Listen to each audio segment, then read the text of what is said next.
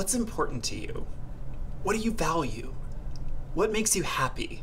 No matter how you answered, I'd like to know would your answers change if you were telling your significant other, a work acquaintance, your boss? The answer to that is probably yes, right? I mean, we don't tell everybody everything that we love. We don't want our boss judging us for the smutty reality television we watch on the weekends, but likewise, we don't also tell our family or friends everything that we like. We don't tell them all of our interests, right? We don't want to feel judged. We don't want to feel looked down upon. We see some of these things as maybe intellectually inferior, and we like to think of ourselves well. We want other people to think of us well. So we don't always share these things. I'm talking, of course, about guilty pleasures, the idea of a guilty pleasure. Reality television, pop music, fashion trends, cultural touchstones that are wildly popular right now, but whenever you bring up the fact that you enjoy them, that you spend your time engaging with them, you can feel a little judged.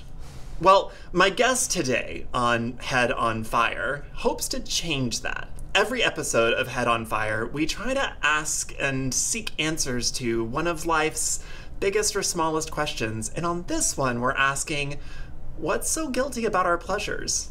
My guest today is Dr. Eva Burke. She literally studies pop culture and teaches it at Trinity College Dublin. And she has a lot to say about the subject of guilty pleasures. I really have an issue with the concept of a guilty pleasure. I hate when people ask me what I what my guilty pleasures are because I refuse to feel guilty about anything that I enjoy.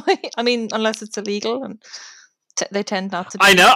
I'm illegal. I'm fully in agreement, and that's mm-hmm. that's why I love talking to you and interacting with you on social mm-hmm. media because, like, just the entire concept of a guilty pleasure mm. feels so weird and i don't even know i don't even know that i've ever truly identified with the phrase guilty pleasure. I mean i've certainly used it um but like it just internal that using that language over and over and over again eventually internalizes that what you're mm-hmm. doing mm. is something that you shouldn't be doing. Yes like you should feel bad. You definitely shouldn't tell people about this. I really hate that that idea. Um i love sharing when I'm watching trashies, as you know, trashy stuff on Twitter. Um, we bond over like the trashiest of Netflix. Um, I listen. I love. I love trash. I, I what what is that uh, Marie Kondo quote? I love mess. I love mess. I love mess.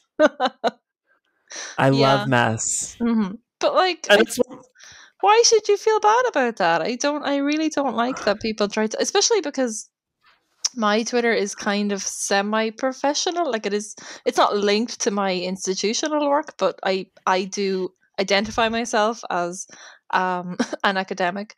Sometimes people are like quite judgmental about that, and they're like, "Well, why would you talk about selling sunset or you know the the shit that I watch?" Um, on your Twitter account, but to me, that's just I I would not I would not feel even slightly ashamed um, about talking about that stuff. It's such a part of my life, and like, like I love it. So, yeah.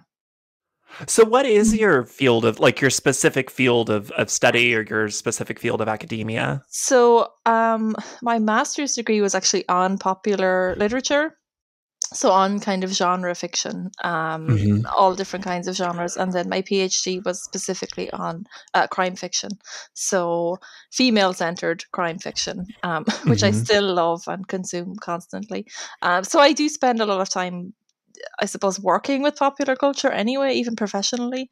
Um, so I, yeah, I, that barrier for me has never existed. There's never been a barrier between like stuff I'll talk about professionally and stuff that I will be embarrassed to talk about. I would love to talk about selling sunset in a college or in a class. I would love to teach selling sunset studies if that were a thing.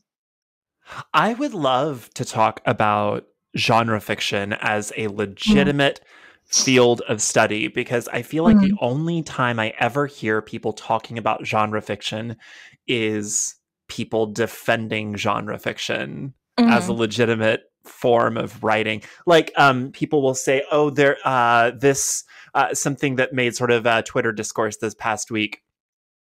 um, oh, this science fiction novel is great. Uh, it mm-hmm. transcends science fiction. And what they really mean is it's good for science fiction. Yeah. Like, you I, know, like it's, oh gosh, it's so well written, as though science fiction can't be. Well yeah. Written. I see a lot of that the word transcends in crime fiction criticism as well. So what they're saying is it's not really a crime novel. It's really good. So we're going to say it's better than your average crime novel. And I really, I really don't like that um, because it's it so devalues the um, the actual work that goes into creating something like that, and it so devalues the um, the message and the content. Like there can be so much um, value, cultural value, and artistic value in um, in a work of, of sci-fi or crime fiction. Um, so yeah, I, I really don't. I think things are changing a little bit. Like since I did my masters, um, people tend to react with less skepticism when I tell them that I, I study popular culture and popular fiction. Um, so I think things are, are are changing somewhat. But I did see on Twitter um, a few weeks ago um, somebody tweeted about like reading statistics, I think in America, and who's reading and how many people are reading, and um, the number was quite, the figure was quite high. And somebody, I think it was a man, responded, "Yes, but they're probably skewed by women reading romance novels." Um, and and I was like, "Well, yeah, but they're still people and they're still reading. So what what's not clicking? Like obviously they're still consuming books and reading literature. It's just not something you approve of or you would read. You know, I, I don't like that."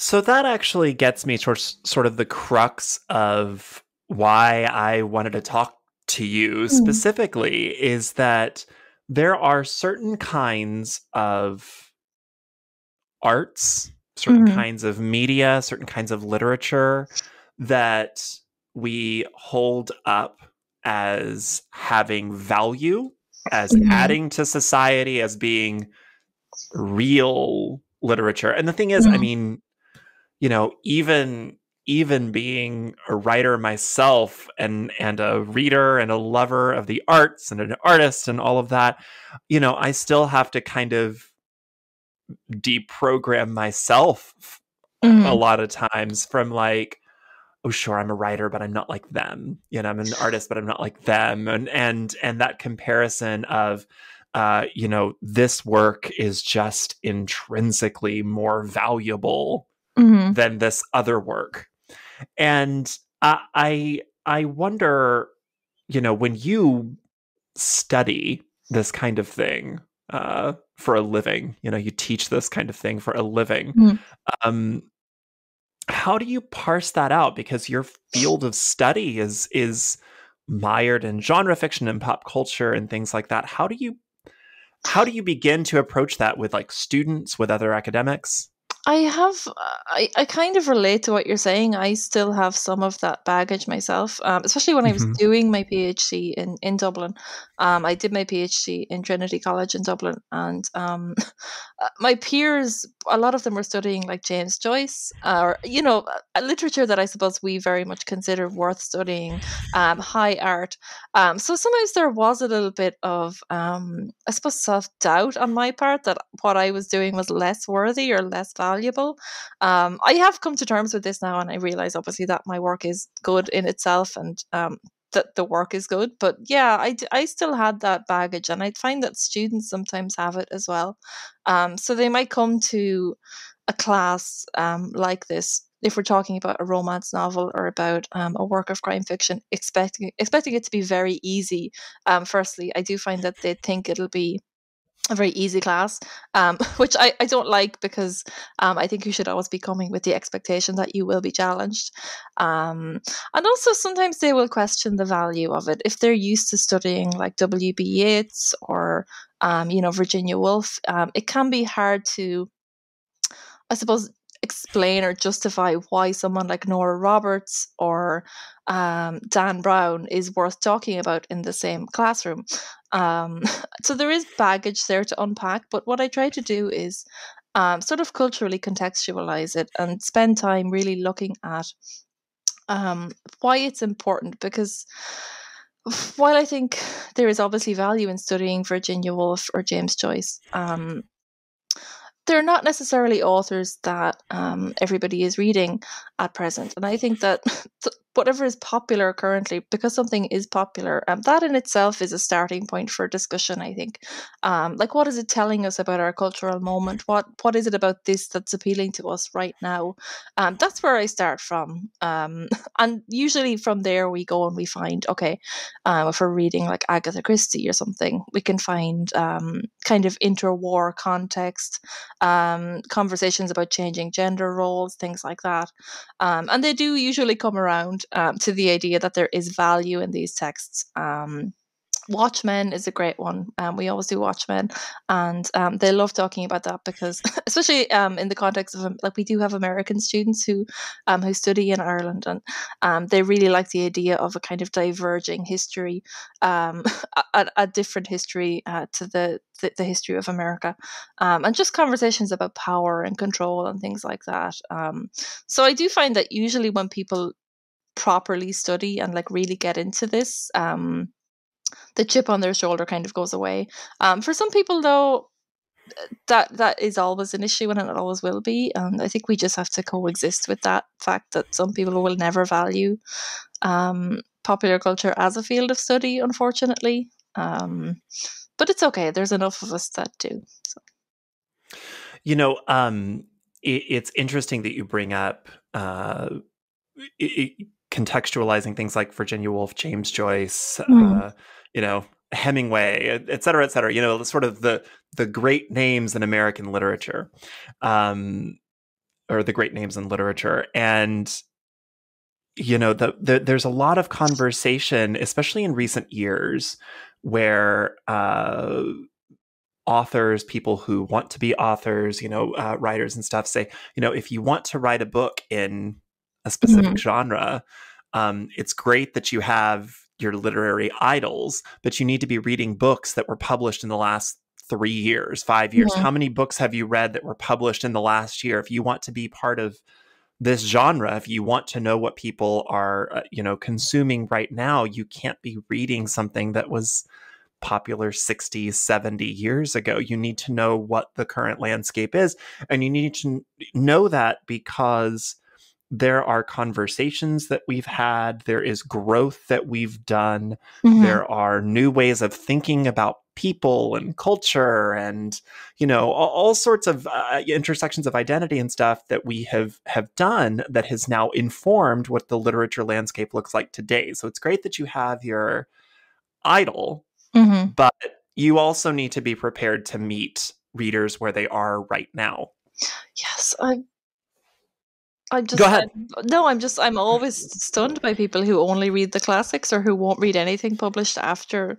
um, the 1940s or 50s. And I have met people like that, and I just don't understand. Like, how are you going to, especially if you are aiming to write, how are you going to write about a world that is post 9/11, like post pandemic And now? All of this stuff that has happened in the past, even in the past like 10 years, so much has changed for us as a world um, I think you're so right. You re- you have to be reading. You have to be in tune with the cultural conversation, and it's really hard to do that if you're not reading stuff that's coming out right now.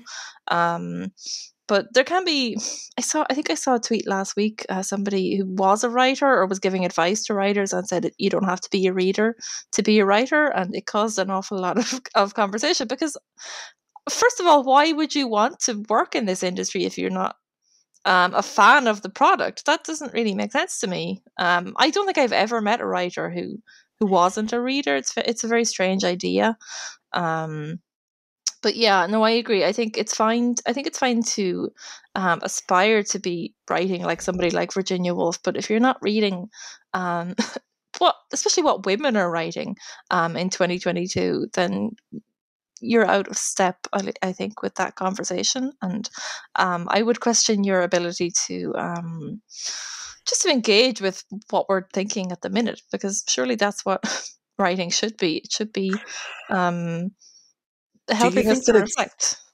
Do you think that it's it's it should be the conversation should be less about what X, Y, or Z person wrote at this time Mm-hmm. and more about why was that important at that time because mm-hmm. then you can have a conversation of why is this particular this new form of of media important now Mm-hmm. You know, th- this person wrote this then, and it was important because it said this. It pushed society this way. It it created this conversation.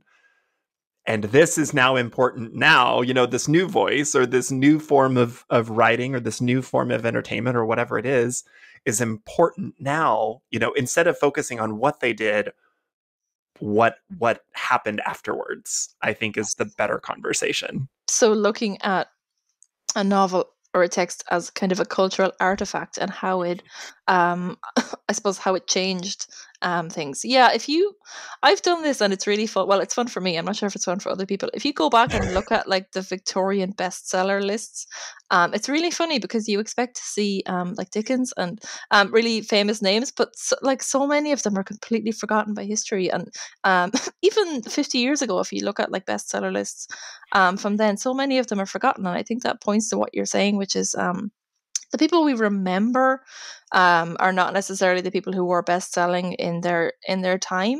Um, so it's always interesting to look back at what was popular. Um, a Victorian author called uh, Marie Corelli. I think she was the best selling author of the Victorian period, but very few people like remember or even recognize the name now.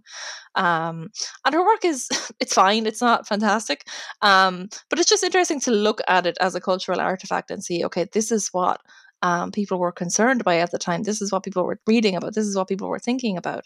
Um, so I would say if anyone is interested in that, um, just go back and look at the bestseller list. Even 20 years ago, if you look at what was popular, um, I think you would be surprised at how few names you recognize. Um, so it's I think it's always good. It's like a time capsule into um, certain periods of anxiety, especially in, in the world. Yeah, a time capsule of anxiety.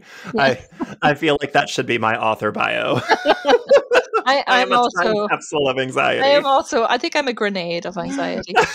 um, but yeah, no, it's just interesting because I think we assume that um, we'll recognize the names that were popular, um, but it's it's not necessarily the case. Authors do get forgotten, even having been bestsellers for whatever reason, whatever they were doing just fell out of fashion or just wasn't popular.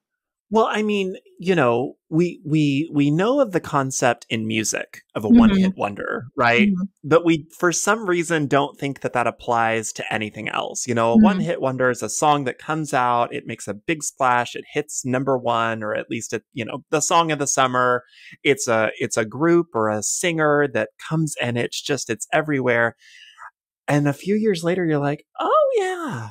Yeah. It's like aqua with barbie girl like you, okay yeah that happened um, they had they had like a few other hits here in europe um and they were quite popular. Yeah.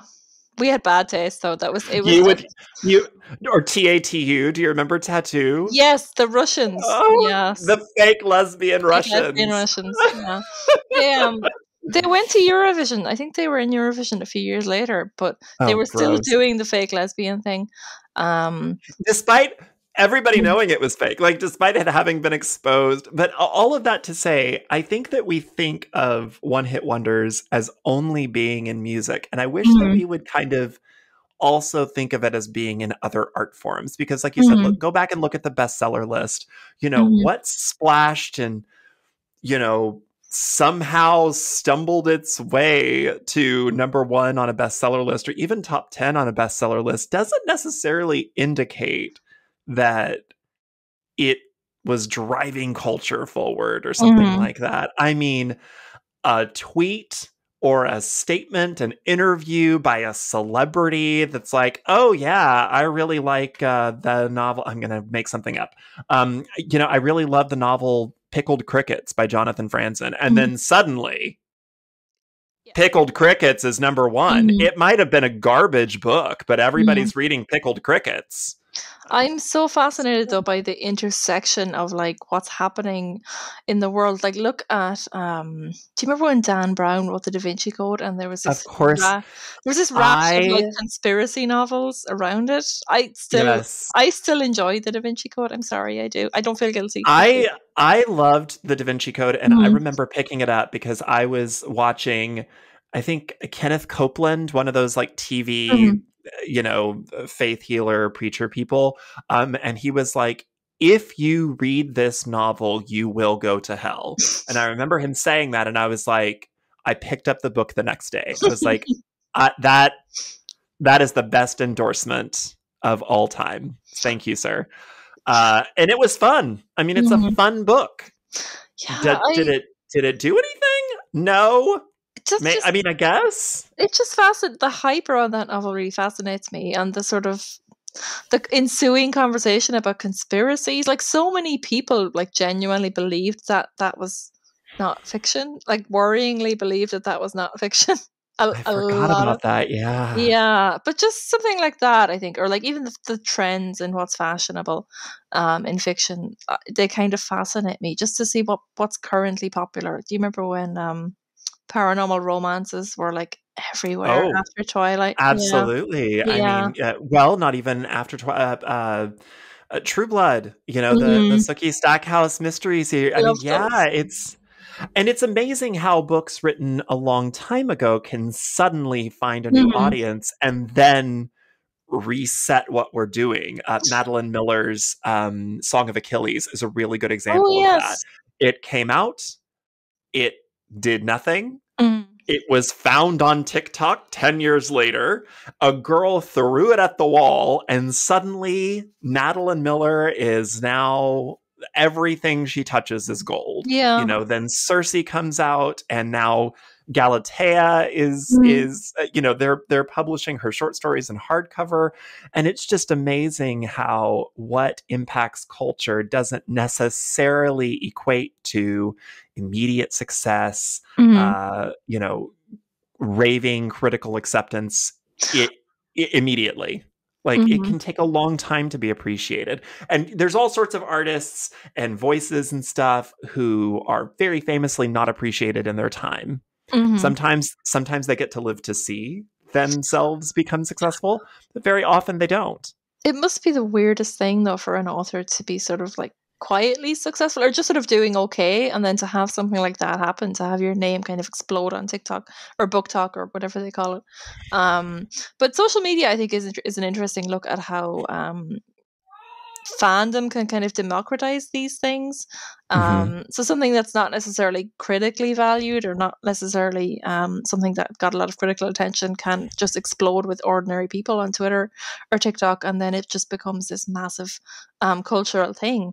Um, I'm not sure if, if you're aware of this um, kind of cultural critique from the, the 20s and the 1920s and 30s uh, the idea of mass culture and um, mass culture and popular culture being bad for us being like kind of a, having a pacifying effect or something that can like lull us into sure yeah but that, people people still today do that i mean it's yeah. whatever is popular must mm-hmm. be inherently bad because it is popular yes or like superhero movies i mean yes. i am a fan of, of marvel movies i will say that um, and star wars yeah and x-men um, and everything but people have this real um, fear that uh, it's lulling us into sort of um, not really paying attention to larger issues. And I really feel like that is so.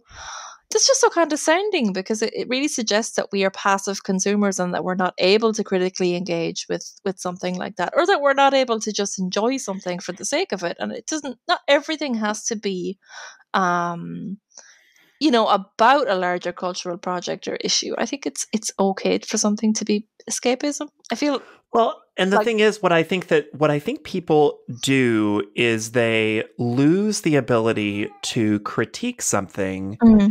if it doesn't fall into how they've critiqued things before if it doesn't align with previously accepted metrics for mm-hmm. importance or success, then it cannot be important and it is not successful.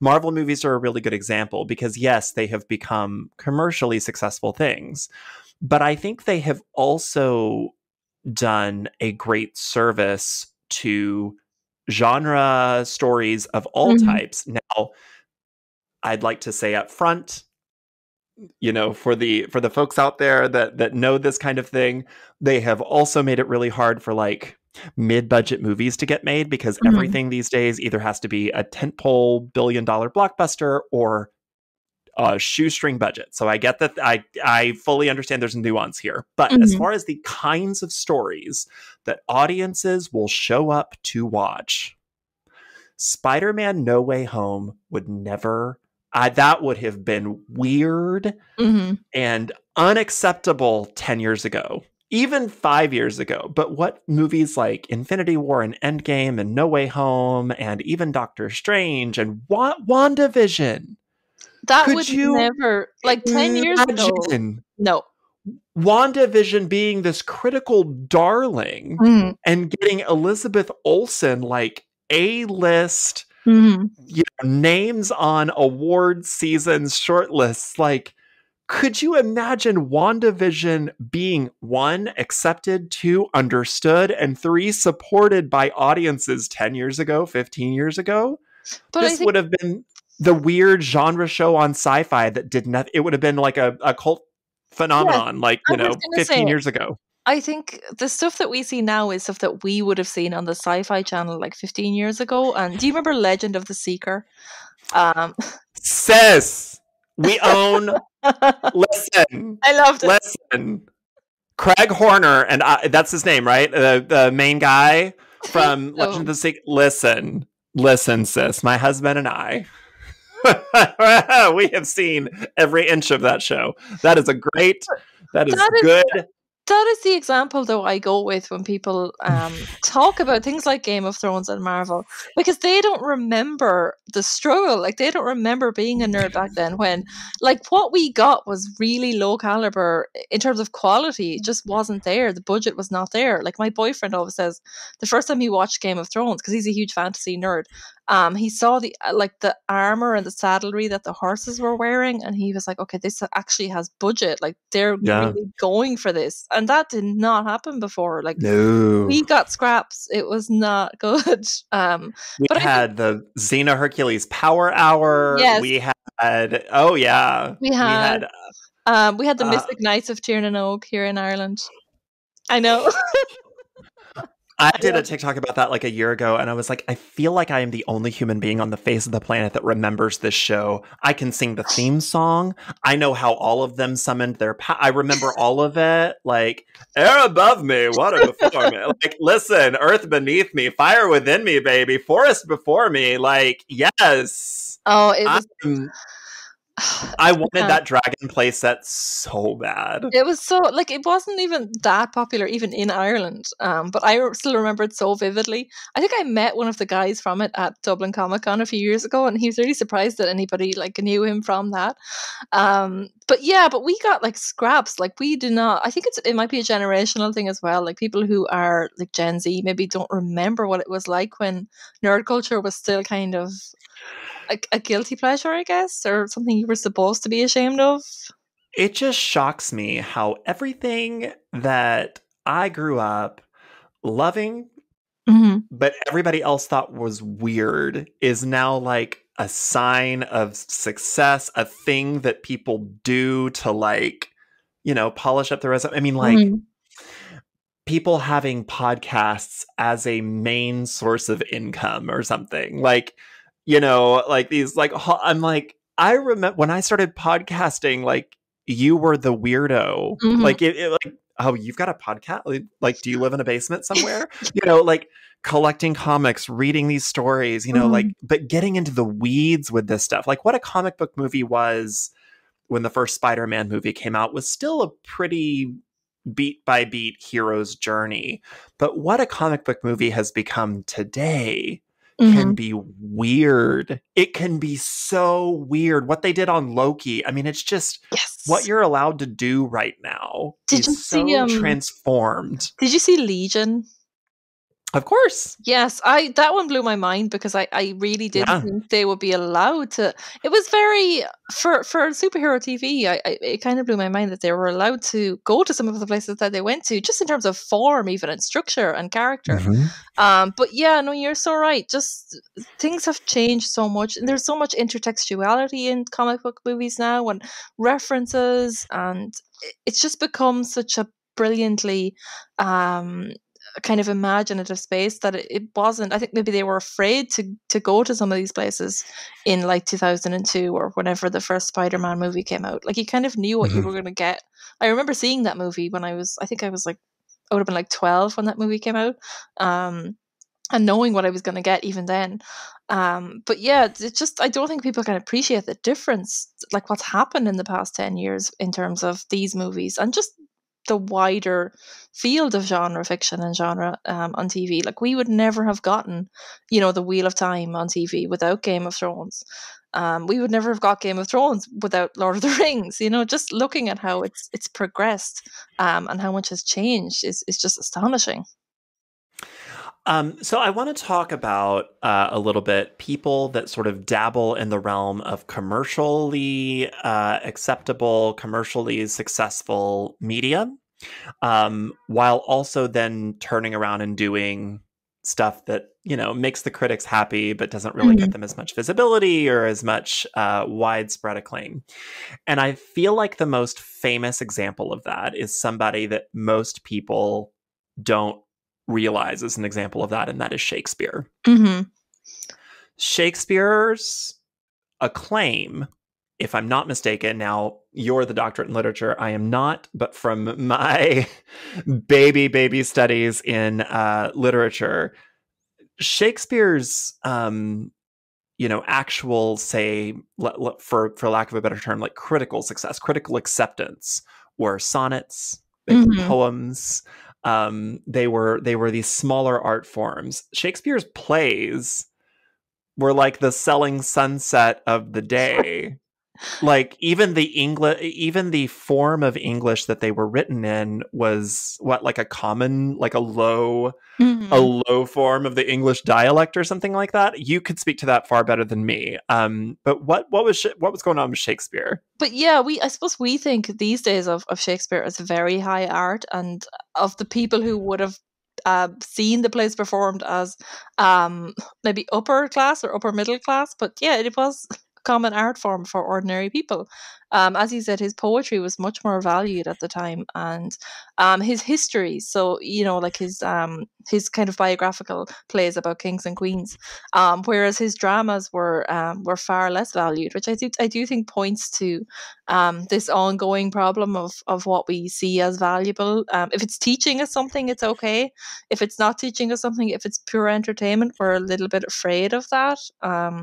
But that larger point about the commercial viability of art and artists who try to, I suppose, balance between making stuff that will um, get them critical acceptance and making stuff that will pay their bills um, is visible kind of throughout history, the history of authors. Um, Edgar Allan Poe was a good example of a writer who has written about this, about the need to write trash um, because he, he, had to pay his bills, um, and very cynically as well. But um, it's stuff that we today we value, we artistically value that work, um, which makes me think that in like a hundred years' time, it could be the case that we maybe not selling sunset, but um, stuff that we see as lower art forms, um, that there might be some revision where we go back and say, okay, no, this actually is valuable, and just because it was written um, with a commercial concern or because um, money needed to be made, that doesn't mean that it's bad. Um, just, I suppose, what you're talking about there is kind of the implicit classism of the arts, um, which is an unfortunate thing. But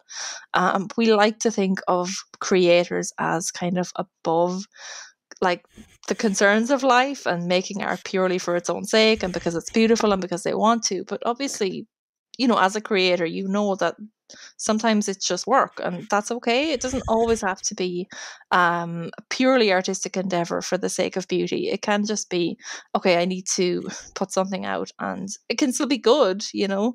Um, we're very uncomfortable with that idea though still. We like to think that um, art should be pure and it shouldn't be contaminated with questions of money or funding. Um, that might be another reason why Marvel and the success of Marvel makes us uncomfortable because obviously, as you pointed out, it is a, a genuine industry issue um, that movies like Marvel and things like that are kind of dominating. That is a problem, um, but also we just we really don't like thinking of um, art as a commodity. It makes us very um, uneasy. Still, I think. You know, um, when you when you talk sort of about uh, the the classism of mm-hmm. art and and the way in which we we think you know I think we have it in our heads that certain people appreciate certain kinds of art forms, so therefore, uh, even even if they don't, mm. you know, uh, like we have it in our heads that like a certain kind of person must appreciate a certain kind of art form mm-hmm. so we kind of in, inherently uh in, intrinsically value it as as something more important um but you know to go back to what makes an impact what gets people talking what what creates culture mm-hmm. almost mm-hmm. i do want to start talking a little bit about some of those genre shows, uh, things like Supernatural, things like uh, you know, like you mentioned, Legend of the Seeker. You know, some of those shows that kind of create fandoms and followings and and stuff like that. Since you know your study is in genre fiction and mm-hmm. in that kind of world, what do you what have you seen in studying that that art form those groups um, how they react to to you know their thing mm-hmm. uh, you know what what how, how do you perceive that I um I'm really fascinated by like fandom culture and fandom studies. Um, I'm working on a Murder She Wrote project at the minute, and we're hoping um, it will be an edited collection um, on the the show. But we're hoping to interview some of the fans, um, the biggest fans, just because this is what I'm interested in. Um, just the relationship between the art and between the fans. Um, like someone like Terry Pratchett um, really encouraged that relationship.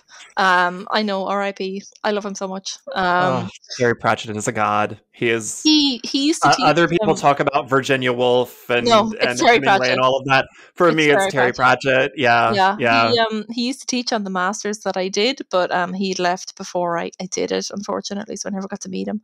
Um, but uh, by all accounts, was just an incredible, wonderful person. Uh, but he's somebody that was very encouraging of that relationship between the um the art and the fans, and I am interested in the idea that it can go both ways and that fans can like affect. Um, you know, look at let's look at something like Star Wars and the effect that Reddit had mm. on the mm. last Star Wars movie. Um, but there can be a symbiotic relationship there, whereas other people, um, I think J.K. Rowling is an example. Not to invoke her name too much, um, but they they really have issues with um, with too much fan fiction or with the fans claiming ownership over um, the product. So it can it can differ, I think, depending on the the creator. Some creators are very welcoming of it. Um, and they really cultivate that fan base and encourage things like fan fiction um, and head canons and things. Um, I think it depends um, on our our perception of what art is and who it belongs to. Um, I mm. very much believe that something popular belongs to the fans. Um, obviously not legally in terms of copyright. I think it's fine for the author to, to own copyright, but um, I really think fans should be encouraged to um, to engage with the, these universes and um, create fan fiction and their own. Like I, I am a fan fiction fan. I think it can be a, really um, nice kind of universe expanding thing. Um, but I was having this conversation recently uh, with somebody about um, the Great Gatsby. I think the copyright on The Great Gatsby is up this year. Um, she's writing on um, queer representations in the novel, and apparently the Fitzgerald estate has been very protective of the estate and very. Um, against any queering of of the characters or the text. Um, but there's it thrives in fan fiction. Like there's a huge subculture of fan fiction. Sure um, like web comics and people writing stories um, who really lean into that. And I think stuff like that can be fascinating and really, I think, challenges the idea that popular culture is passive or that it makes us passive. I think it can be, popular culture can be whatever we make it. It can be a space for queering, um, it can be a space for rebellion and for um, challenging ideas. It just depends on what we're doing with it, if that makes sense. You know, uh, now there is a space at which I think the ownership that fans feel over a thing mm-hmm. goes overboard. It can um, become toxic, yes. Yeah, it, it can mm-hmm. become quite toxic. Uh, you know, I talked mm-hmm. to Joshua Conkel, who was uh, a writer behind Chilling Adventures of Sabrina mm-hmm. and uh, a series of unfortunate events, the adaptations of both of those. Um, and, you know, just kind of talking about how uh, fans can can go too far mm-hmm. uh, in in their feelings of ownership of certain pieces of media. Um, they'll create these head canons. They'll create mm-hmm. these ships with certain characters. And when they don't see them then reflected in the story that the writers were already writing and mm-hmm. filming a year ago, you know, yes. or two years ago, or however long this was made, um, or basing it on the source material or whatever it is, mm-hmm. how just angry they get. And I don't, yeah. I think there still needs to be a space for storytellers to tell their story. Mm-hmm. And if you want to go tell a story, you go tell that story. Exactly. I think that people need to. I think there is a line as a fan where you can say, okay, this is what I want it to be, and um, this is what I enjoy, but it's okay if the creators of the show are going in a different direction. Um, like something Game of Thrones, I think, is a good example. That last season had a lot of weird fan service. Um, the final Star Wars movie, again, I think was a corrective to the Last Jedi, which I loved. I loved the Last Jedi. I thought it was very brave. Um, but yeah, I think you're right. It can become, especially in an age where we have um, we have so much input from everybody all the time. Like there's there's a constant stream of voices on Reddit and Twitter and TikTok. Um, and I'm sure as a creator, it's very hard to ignore that.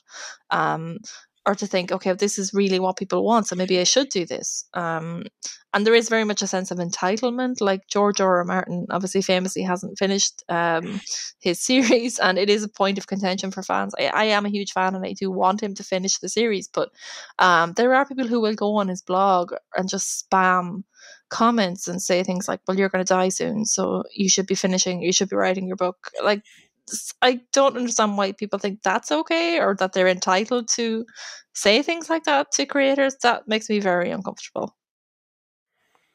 It makes me very uncomfortable mm-hmm. as a mm-hmm. writer of books and as a person who puts media out in the world because yeah.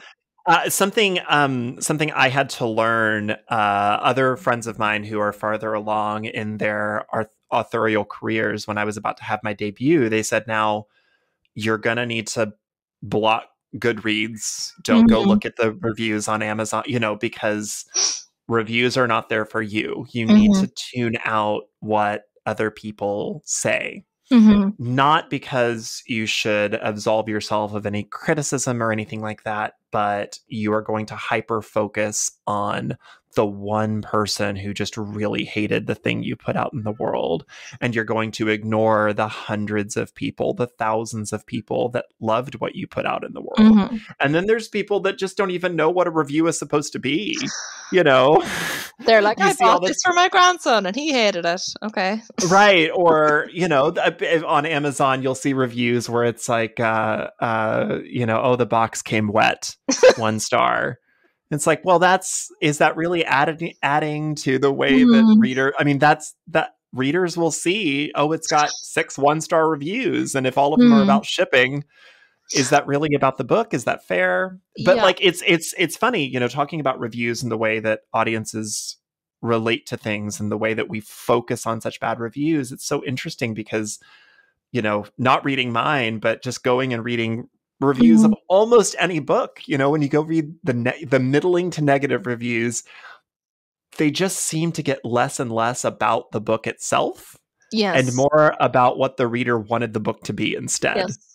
Um, I think though you could have put your finger on something which is a problem with what like we've talked there about people be, being uncomfortable with the idea of art as commodity, and I think when we do perceive, um, uh, oh kitty, um, when we do perceive um, art as a commodity, I think people get this entitlement or sense that like you work for them as a creator, that they're paying you money to work for them, so you should be doing what you're told. Um, that's that's become very common um, mm-hmm.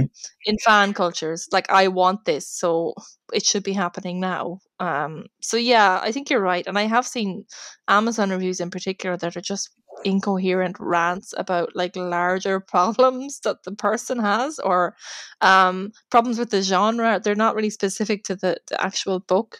Um, it just makes me wonder though if things like Amazon and Goodreads um, have become incredibly toxic for authors because yes. um, so much of it of your um, their success is reliant on these reviews and fans, those kinds of toxic fans, can have a lot of power and control that they really shouldn't have um, in this kind of landscape. Um, so I'm, no, I'm actually not a fan of Goodreads.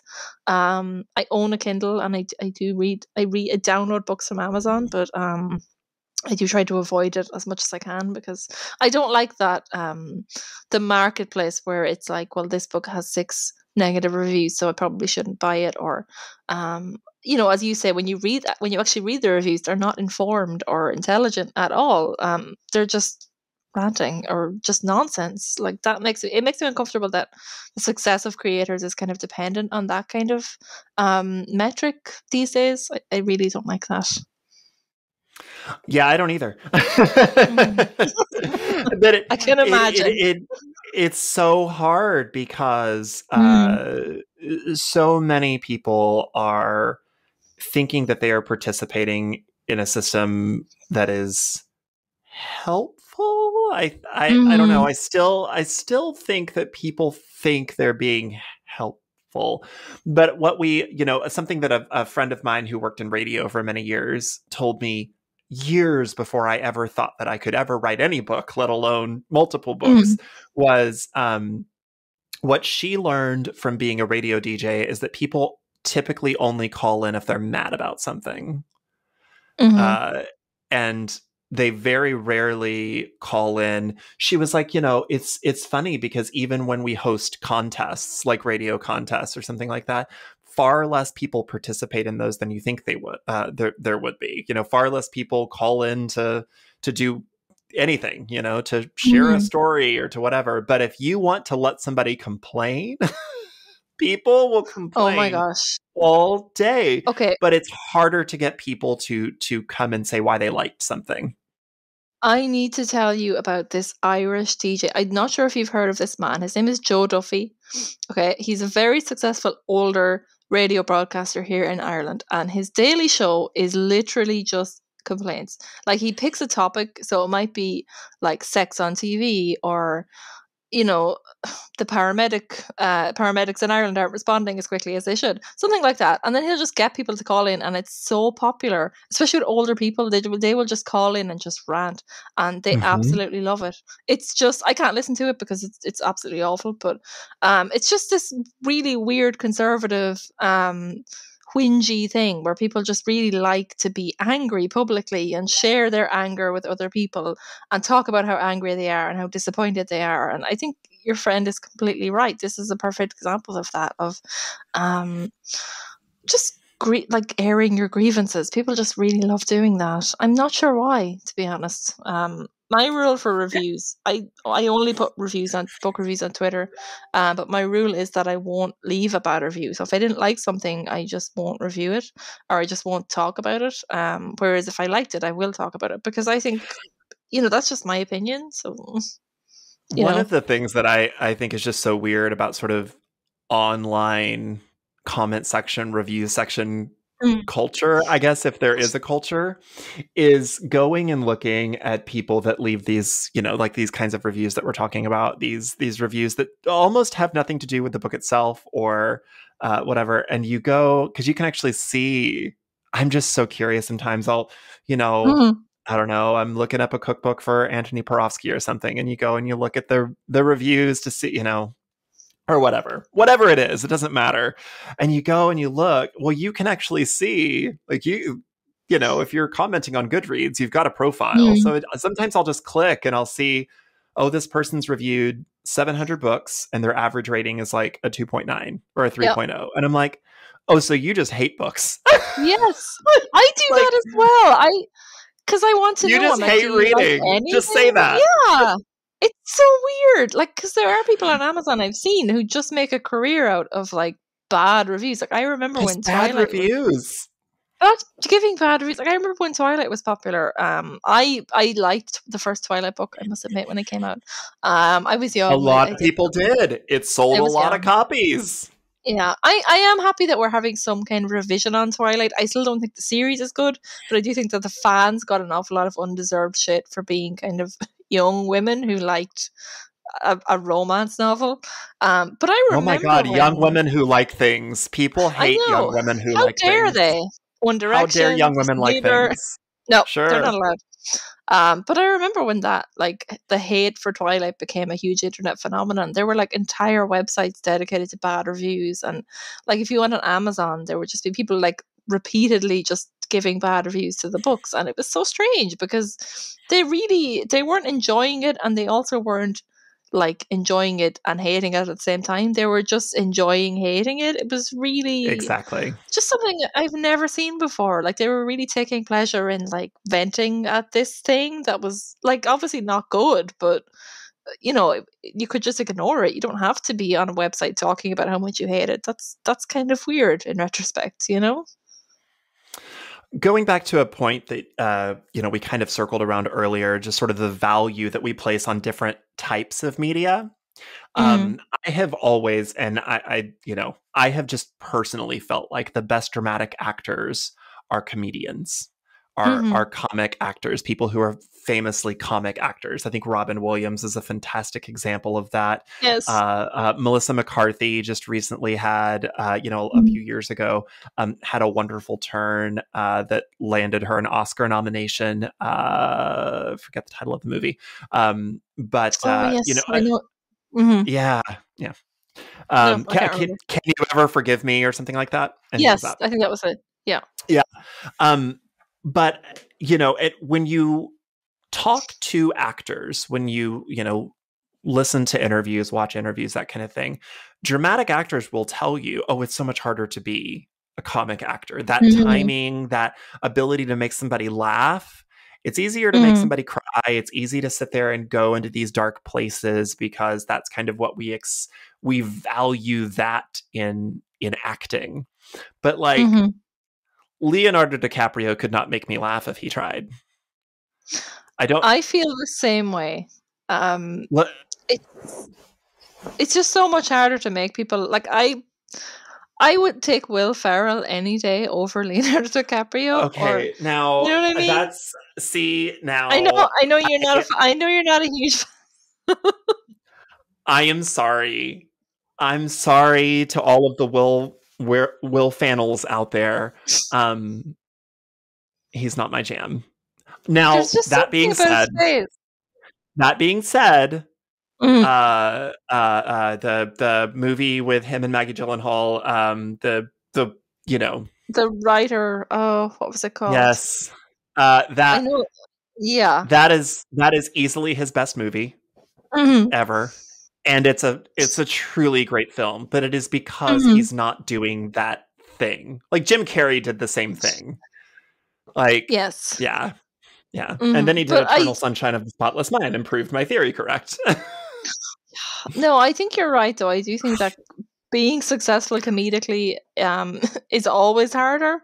Um, it's the same with horror. Like i find horror movies um, are culturally undervalued because we, I, for some reason, we just don't we don't really value talk um, to me horror when we people talk know, about underappreciated genre fiction or underappreciated mm-hmm. genre films. Horror is always at the top of the list. Mm-hmm. I, as you probably know, am not a huge horror fan. Mm-hmm. I do not like to be scared. I don't want to be mm-hmm. scared. And I am much more willing to sit there and escape into a very silly comedy with a very stupid premise mm-hmm. than I mm-hmm. am a very stupid horror movie with a very stupid premise. Um, it's not escapist for me. What am I missing in horror fiction? What what what am I getting wrong? How can I appreciate horror more? Okay, so for me it's less about being scared like it's not that it's not necessarily that i want to be scared sometimes if it's something really jumpy or fun that's okay like in a roller coaster way you know it's it's scary but you know you're not really in danger um, but with really good horror, I think what I get from it is just. I think just some reflection on like fear in general or the idea of fear or anxiety. Um, maybe that's it for me. Like I wasn't for a long time. I wasn't a horror fan. I was a real wuss. Um, it was only in my kind of early twenties that I started getting into horror as a genre, and I just found that it raised a lot of questions about power and fear and anxiety. Um, something like Hereditary, for example, which I know you did not like. Um, I loved just because bad movie. It, it is a bad it's movie. Not, it, it is not no a bad sense. movie. It no makes, there is no narrative structure so to that movie. Sense. The ending makes absolutely no sense with the rest of the movie. It is bad. Toni Collette deserves better. Uh, Toni Collette in Knives Out was the one who should have gotten the nomination, not the Toni Collette. It, no, abs- no, no. Okay. Midsommar taught me that Ari Aster can can write, but mm-hmm. but but no, but Hereditary, no, no. I can no. I cannot. I just can't disagree more. I lo- I love Hereditary. I could talk all day about it. I won't, but um, but something like that, something like that is an example because it didn't it didn't scare me. I wasn't scared, but it just um. There's nothing to be scared about. It's just weird. I felt but there was just this there was just a sense of like dread throughout which i found fascinating. And for a genre okay but uh, for a, diff- a different horror movie we'll say uh, to, for something like that to inspire that feeling in me is something i don't really get from a lot of other genres so that could be it for me. Um, I do. I teach gothic fiction sometimes and horror, and um, sometimes people are very averse to it. Like they're. If, I think it's horror is the kind of genre where if you're not a fan, you're really not a fan. You, people don't really dabble in horror as much. Um, it, it's just something that you either really like or you really don't like. Um, but I just find I it can be a really I good. I can work myself up to it. Like if if there's a horror mm. movie that everybody's watching, I can work myself up to watch it. Like I worked myself mm-hmm. into watching Hereditary, and I think that's why mm. I get so upset when I hate it because I'm just like, listen, I mentally prepared, mm. I spiritually prepared, I, I I cleaned my, you know, I got ready, and that it was like The Ring. By the time I finally mm. watched The Ring, I was like, this is bad. not enter. I was like, I guess it's, I guess it was entertaining, um, or the Blair Witch Project back in the day. Like I was like, well, I mm-hmm. guess it's entertaining, but it's not scary.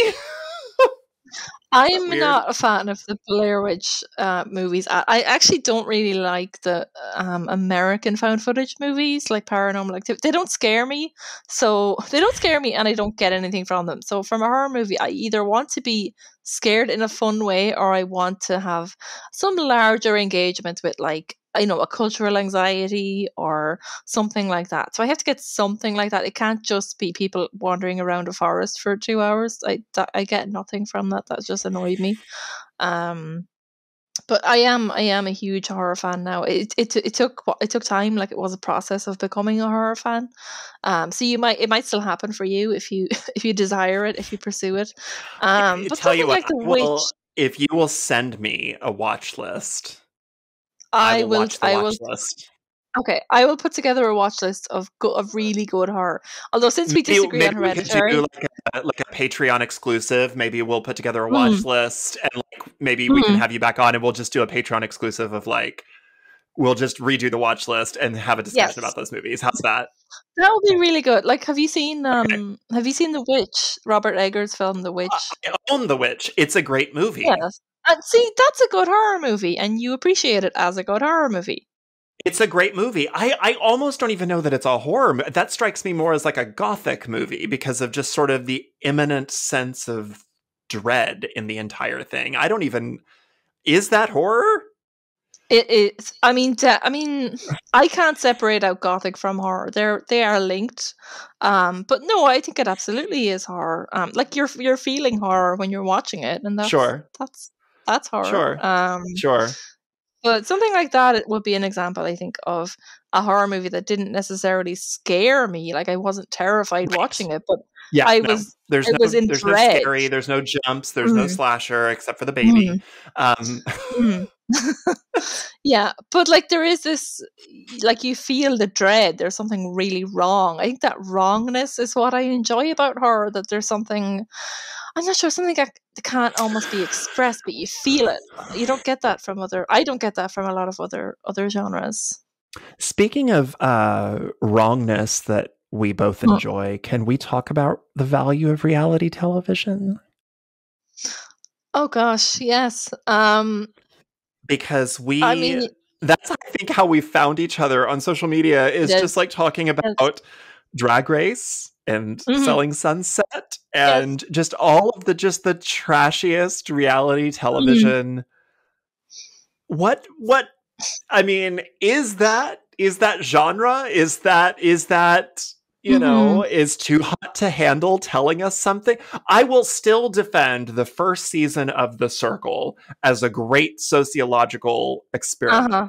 I love the seasons circle. have gotten progressively stupider, but the uh-huh. original season of The Circle was just such a cool, sometimes heartbreaking mm-hmm. sociological experiment that I love. I I agree. I think The Circle is really good TV. Like as you said, it has gotten stupider with like twists yes. and like yeah. people playing stupid games, but um, it's still a really good concept for for a TV show, as I think Big yes. Brother originally was. Um, but I mean, I think reality TV is the final frontier for genre studies. Um, for like making I, suppose having a conversation about whether something is valuable or not. Like, I mean, is too hot to handle telling us something about ourselves or about society? I'm not sure. Like, I'm, I'm, I'm not finished the third. I've, I still have one episode left of the the third series, so there might be a huge cultural revelation. Oh, I, the, I haven't, I haven't watched this latest season. Uh, it's is, not. It's is not, it worth it? No, there's no. It's not good. Um, I mean, yeah, it's, it, it it's like they made a photocopy of the first season that's just fading. It's just uh, no, it's not. I would some of some of these shows once they've been at like if they have a weird tricky, you know, the circle, uh, mm-hmm. uh, the the original Too Hot to Handle, you know, when they have the first one that I remember seeing like this that they could never do again, so they didn't was the mole. Mm-hmm. Do you remember the mole? Yes, I never watched it. I've heard of it. Oh my god. Okay, so the mole I think it's available on Netflix mm-hmm. um now or or Hulu or one of the streamers. Um go watch it. Anderson Cooper hosts it and the entire concept is it, it, was sort of a combination of Survivor and The Amazing Race almost. Mm-hmm. Like they had a group of people and they're all working, you know, they're all set, you know, they're given tasks to do and uh, you know obviously there's a cash prize at the end and the more successful you are the more money you get and blah blah blah blah blah um, but the the trick to the mole was there was a mole there was one mm-hmm. person mm. amongst the group who was there sent there by the producers to undermine Ooh. the tasks to undermine the work of everybody mm. else and you were trying every week to vote off the mole mm-hmm. to try to figure out who was the person undermining it. So you're putting this, you know, psychological sense of unease and distrust immediately. You don't immediately reveal that there's a mole. You tell mm-hmm. somebody later on. Um, but then it it sets the you know it's that Lord of the Flies you know the paranoia sets in kind of thing, and it created this whole extra level of storytelling. But the problem with the mole wasn't that it wasn't a good show. It was that once you did it, mm-hmm, you couldn't do it again. You can't do it again and come up with the same thing, at least not without trying to throw a ton of new twists in that take away mm-hmm. from what the show did.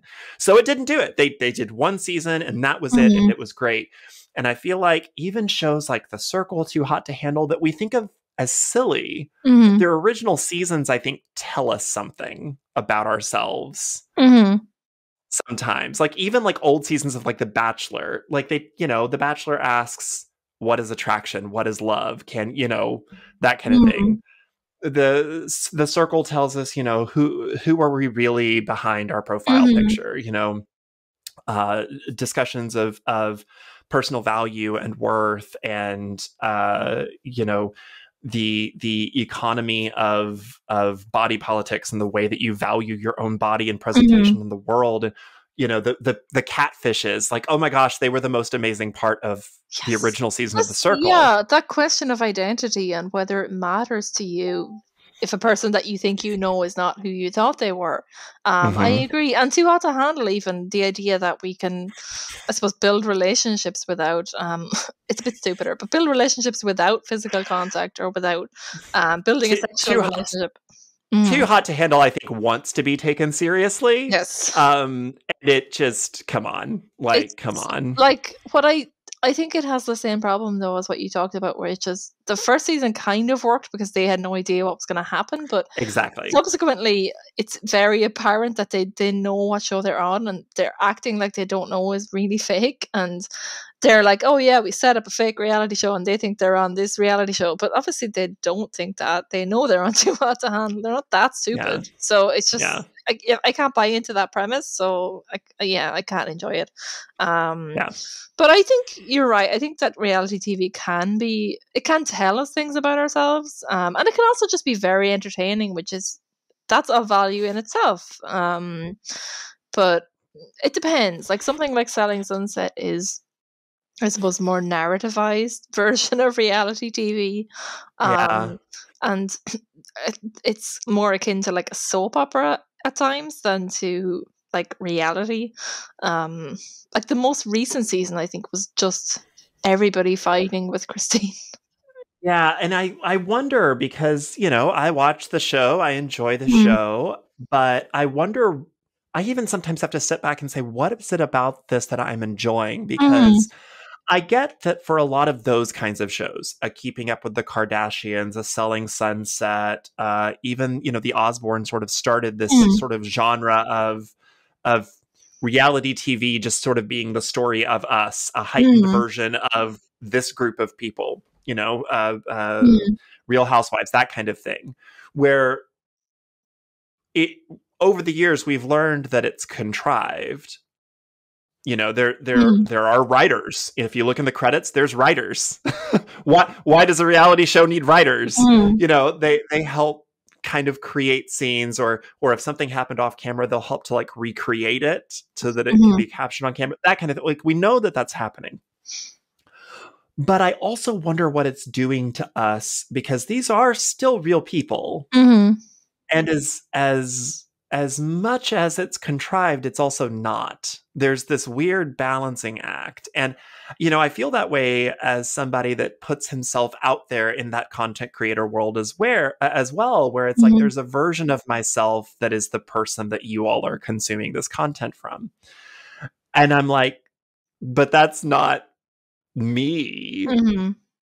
So there's I wonder what the... it's doing to us because he, the audience for these shows, it's like, oh, you know, I love Christine because she's just gonna, you know, oh, the the show is Christine, and I'm like, what does it say mm. about us that the show is Christine? Because Christine is just saying terrible things to i mean just awful awful she's, awful things she's basically a mon a monster at this stage a like, monster she's just a terrible person and like is not even trying to hide or pretend that she's not a, like she's openly a terrible person um but i think yeah that's an interesting question i suppose about the conjunction of social media and reality tv as well because we all have we're all living in a world now where we have these like avatars of ourselves these social media mm. versions of ourselves where you're not posting your you know your worst day or your really shit news it's always good news and it's always um you know the best version of yourself that you're putting forward. Mm-hmm. and i'm wondering if reality tv has almost like trained us to do that because you know on social media there's always a do-over. You can always delete you can always redo you can always filter.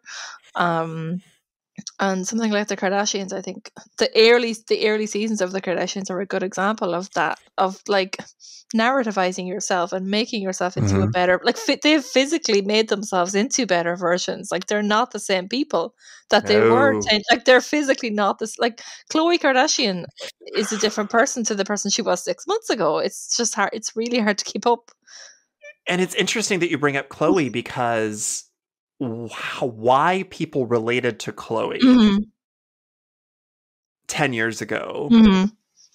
is it, it, it, is gone. Mm-hmm. It's gone. You know, Khloe was just the the the person who wasn't the supermodel in this she family like of supermodels. Yeah. She looked like a real person. She yeah. had a real person's face. Mm-hmm. And you know, she had a real person's body and mm-hmm. and as as uh, as much as as Kim's body sort of changed how everybody valued the butt and stuff, you know, mm-hmm. the curves. It's just like people still very much valued Khloe for these pretty big, substantial, real reasons. Like we're mm-hmm. talking about, you know, the realness of reality TV. People valued her for a very real, legitimate reason. They saw themselves reflected, at least in part, in her. Mm-hmm and she's systematically destroyed that person. Yes, like really physically deconstructed and built herself back up into the ideal Kardashian, which is terrifying. It's like the monster mm-hmm. is eating itself. Like the because she has talked about on social media, she has talked about feeling very insecure about her body, and uh, to me, it it she doesn't seem to she doesn't seem to be aware of the link between their creation of that standard and her reaction to it. You know.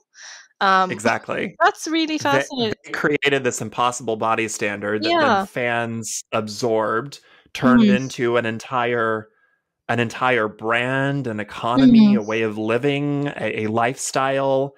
And then she then became the consumer of that yeah. product that yeah. they created. It's so weird. It's so weird because she posted this whole rant on Instagram about how fe- how she felt insecure about her body and just really did not seem to see any connection between like the years of Kardashian um conditioning that we've undergone and how she feels or how um, she doesn't want to see that self reflected back, which is really sad. Um, really, really sad, actually. And just the idea that we had this relatable um, person, or at least somebody relatable in that world, that's gone now and um, has become victim to that standard um, is really intriguing. But yeah, I do think um, the Kardashians as an early example are fascinating. An example of that um, best self and like filtering everything and making sure that even your real moments are kind of scripted and like everything we see, even the fights that we see on the Kardashians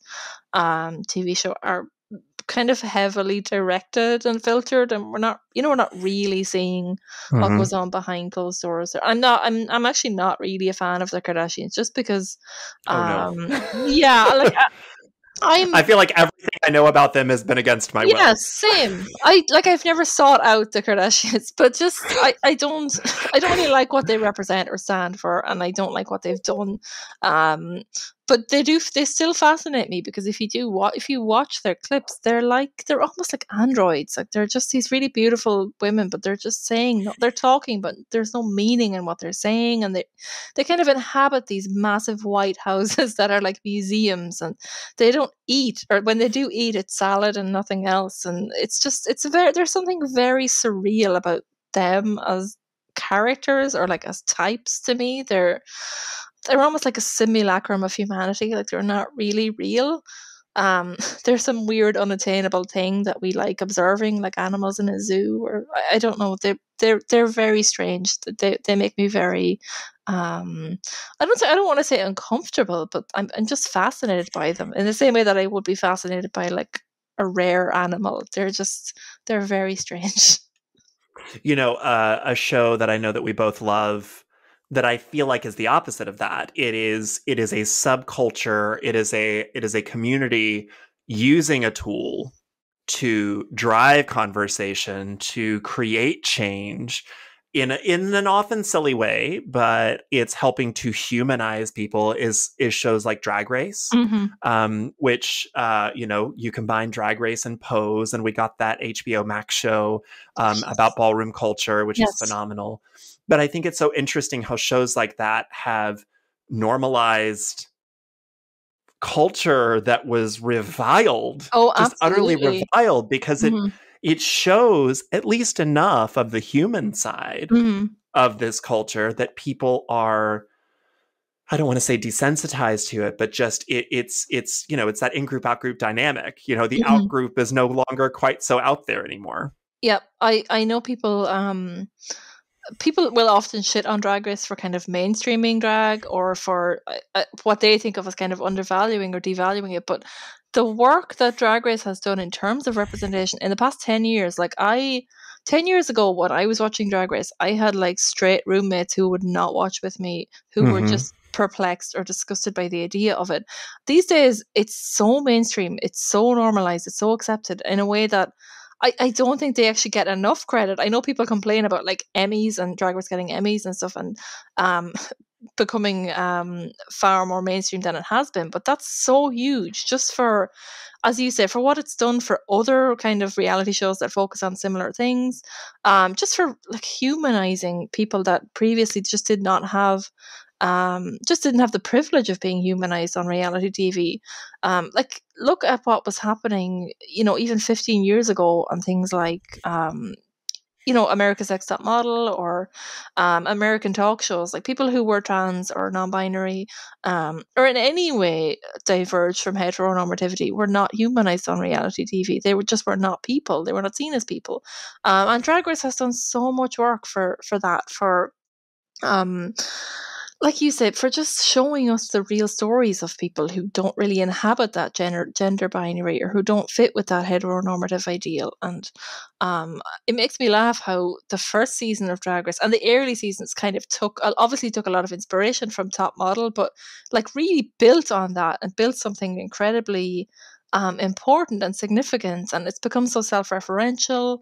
Um, I, I'm such a huge a huge fan of Drag Race. I'm such a huge advocate for Drag Race, but I I really think we don't um, we almost don't even have perspective on how much has changed because of Drag Race, because of RuPaul, who obviously has done a lot of um, kind of problematic things um, apart from Drag Race that um, that people are uh, it, it's okay if people want to want to call RuPaul out for that, but just the work that Drag Race has done, um, like here in Ireland, the idea that a TV show like that would be on on TV here is astonishing. I mean, um, I mean, even I think in the mid '90s, uh, up until like the early mid '90s, it wasn't even legal to be gay in Ireland, um, or '80s. Um, so, like, we, I think we do have to pause to appreciate how astonishing that moment is, how far we've come. Like, there's there's going to be a Drag Race Brazil, um, like for for somewhere like Brazil, that's massive. Just to think that um, people like that will be represented on TV has, has, just doesn't happen in certain places. So you're absolutely right, and I think make a really good point about what these kind of cultural reflections can do for us, what it can do for us to see people like that on TV, even if it is scripted, even if it's not entirely real. Um, it's still important, and yeah, for me, Drag Race is like the anti-Kardashians. It's it's reality TV that has helped us progress culturally in a way yeah, that just the Kardashians have just not. Be- just because it's not even a mainstream comedy or a mainstream mm-hmm. drama, I feel like genre fiction, genre stories, even reality shows as its own kind of genre subculture or whatever. Mm. That's where queer people, underrepresented minority, and mm-hmm. that's where they've seen themselves. That's where those boundaries mm-hmm. have been broken, um, and I think that's that's why it continues to be important. Dr. Eva Burke, I could talk to you for a million years, and I can't wait to do it because we absolutely have to do a follow up about uh, horror movies. We will, but, do, um, we will do a horror. Yes. Uh, but if people want to um, contact you, if people want to follow you and uh, follow your thoughts on grand high literature or whatever Christine is doing on Selling Sunset, where can they do that? Mm-hmm. They can do that on Twitter. My Twitter is um, EVA underscore B89. Um, I am also on academia.edu. If you Google my name, um, I should come up. And I, um, I'm actually also on TikTok, but um, for me, that's mostly just a scrolling platform. Um, but there, I do put up cat videos, so um, you can find a link to my TikTok on my Twitter if you're interested in seeing um, videos of my cat. Um, thank you so much. This was so fun, and I, I really do want to do a follow up on horror because I think we can. I will. I will do it. I will not be a baby. I will not be a wimp. I mm-hmm. will watch. Give me like the top five, like a baby. Okay a, mm. a, a baby person who doesn't love horror, who hated Hereditary. Don't put that on the list. Okay. Okay. No, my, my best but friend hated Hereditary as well. I liked Midsommar, mm-hmm. so like I can be saved. I feel like. Um, so you know, put together I that list. So. We'll make it a Patreon exclusive, and we'll do a follow up there. Mm-hmm. We will. That Thank you so much. Thank you so much. This was so fun.